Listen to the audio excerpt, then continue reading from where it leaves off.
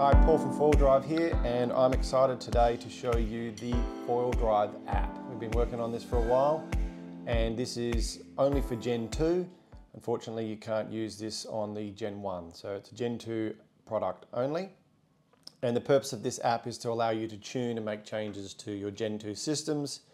And in future, as we offer uh, updates, uh, power improvements, and features and functions. The app will continue to grow over time and become more feature rich.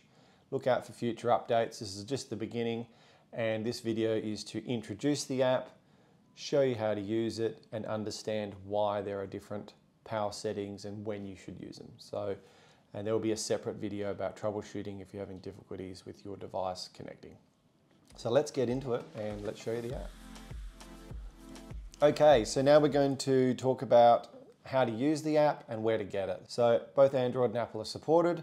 So you simply go onto the store, search Foil Drive, it'll pop up, and it is a free app to download, no, nothing to pay for. Once you've downloaded it, the first time you use the app, which is what we're going to go through, it will ask you for some permissions. Once those permissions have been accepted and done, you will not need to do that in the future.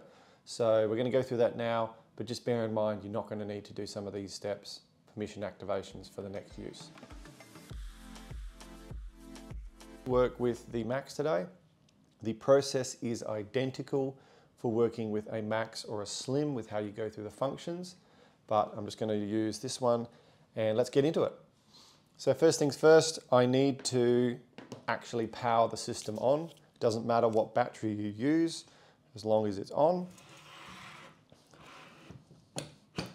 So the batteries in the unit. The controller is off. I am going to test to make sure the propeller doesn't spin so that it's safe. Now, the first thing I want to do is press get started. So I've pressed that. The first thing it asks me is to scan the unit you want to use. So I have a max here and a slim over there. I'm going to work with the max. So I would tilt the unit over and on the side of the unit there is a QR code and next to the QR code, there are three letters, FDM. The purpose of the QR code is to allow you to use the camera to scan it. And if you don't have that or you're having difficulty scanning the QR code, you can type the letters in. So if I was to manually type the letters in down the bottom of the page, it says manually enter code.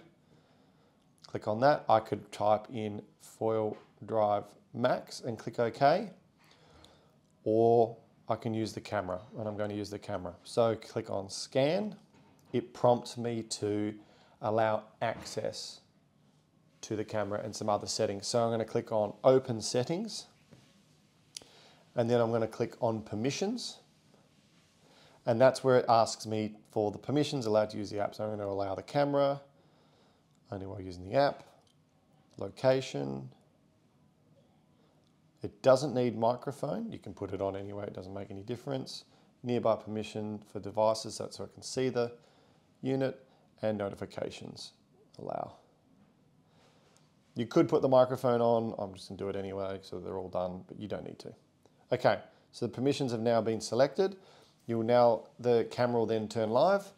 I'm gonna rotate the unit and it, see, I didn't even have a chance to rotate the unit and it's already seen the QR code in the corner of the frame, but you know, you would normally just go like that and it instantly grabs it. It's very quick. The next screen that comes up is scan battery.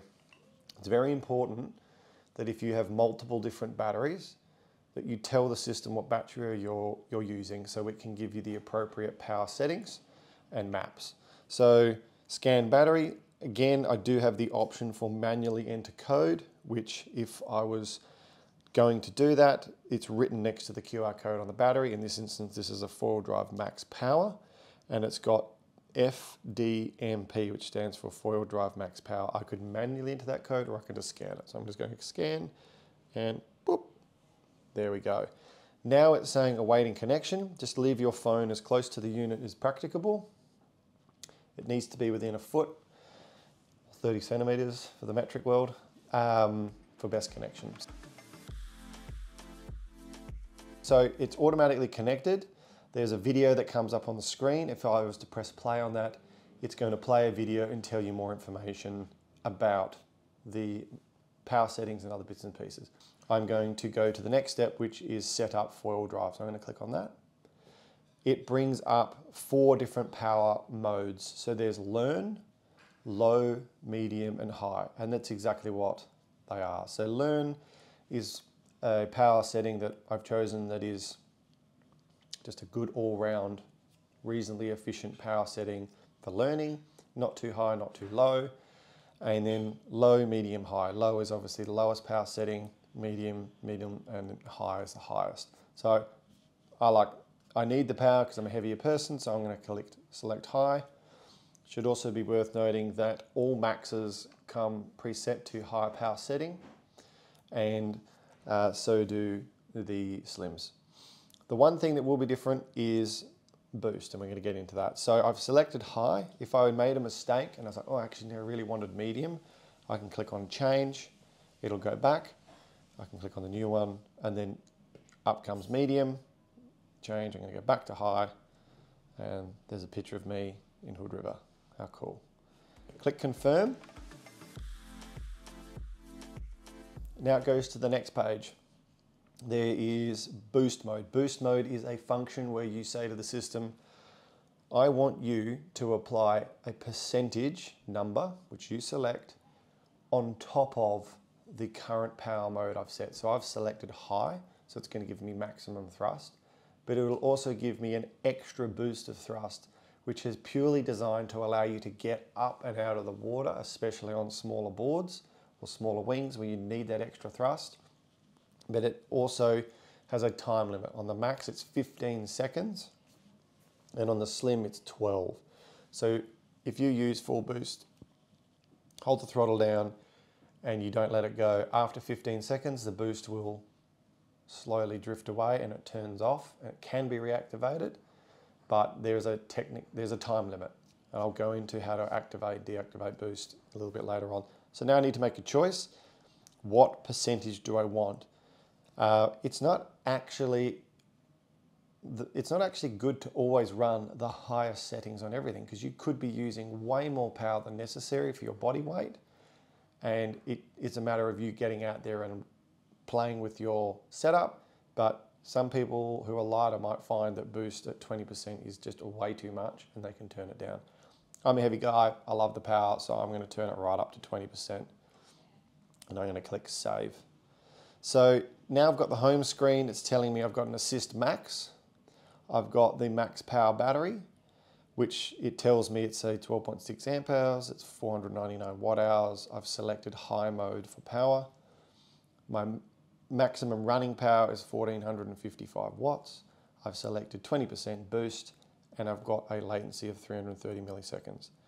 I could click confirm and it will save all that, but in completion of going through what the app can do, There's also a change latency, which is an advanced feature. If I click on that, it brings up a warning saying you need to understand that you're changing an advanced setting and the implications that has. I need to either con confirm or cancel. I'm going to click confirm because I've read it. Again, there's a video here that explains what latency does and it is very important to understand what it does. What latency does is if you're you've got power on and you're foiling along whoop, and you fall in the water, there has to be a time limit between when the signal is lost from this controller, the box recognizing its lost signal, it adds a time grace period before it shuts the engine down. Now the reason that has to be there is if you're in the water paddling or trying to get on foil and your latency period is too low, let's say we turned it down to 100 milliseconds. That's one tenth of a second. It's not very long. If you lose signal at any point, whether you fall in the water, you're duck diving, or you just put your hand in the water to paddle, if it's too low, the system will constantly cut out and it can become very annoying. Technically, the lower the milliseconds, the safer it is from a point of view of if you're foiling along at high power and you fall off, the quicker it cuts off, the safer it is in general.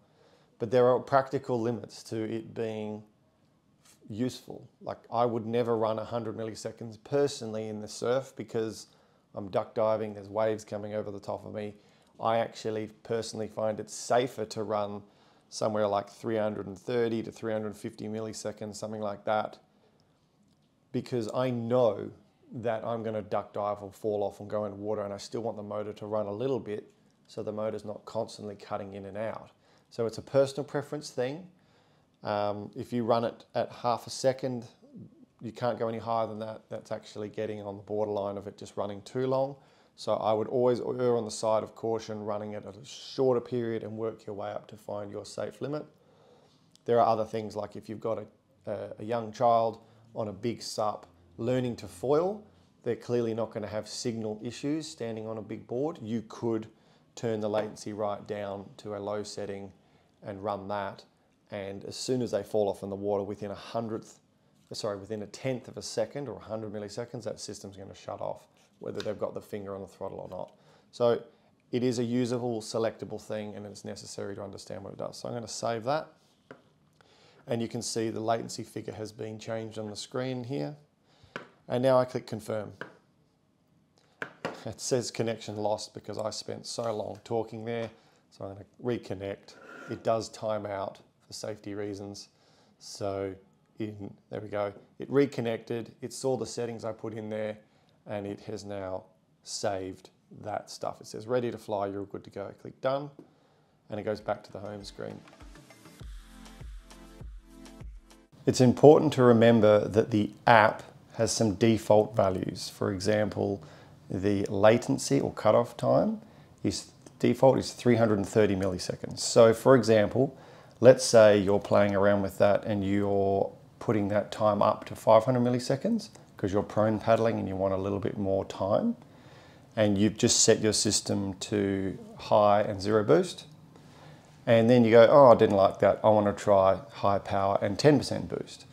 When you go back through the app, you would need to go back into latency and take it from the default 330 milliseconds up to the 500 and rewrite it.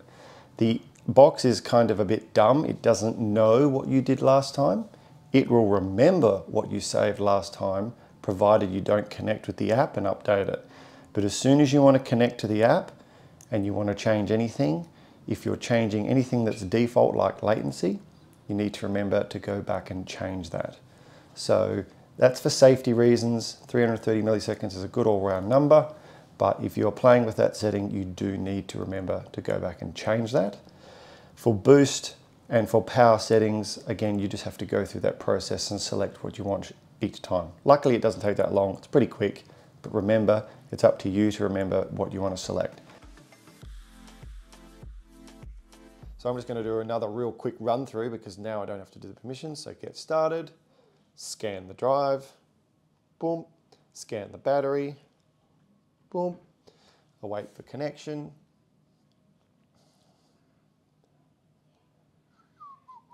got connection, set up foil drive. I'm going to go for medium this time. Click confirm. I want 10% boost. Close enough. Save.